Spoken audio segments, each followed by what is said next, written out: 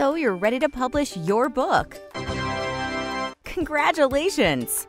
But you still have some work left to do, like how to get your book discovered and get it sold. Fortunately, there is one step you can take that will help booksellers and readers find and buy your book. Get an ISBN, an International Standard Book Number. Why?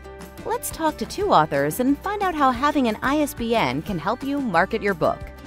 ISBNs are required by most libraries and bookstores.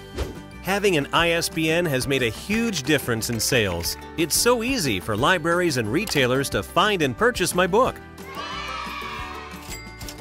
Uh, without an ISBN, most bookstores won't even sell my book. Also, ISBNs let you easily sell your book as a hardcover, paperback, or digital version.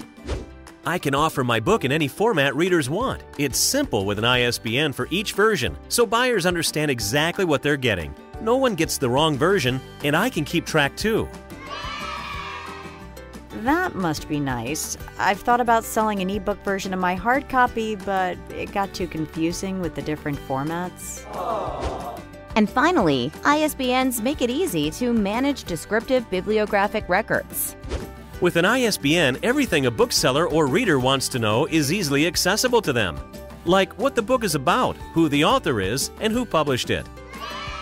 My family and friends know about my book, but that's only because I told them. I'm starting to think I should have gotten an ISBN. Is it too late? It's never too late. You can buy them anytime, and they never expire. Reach out to Bowker, the only official US ISBN agency, at myidentifiers.com.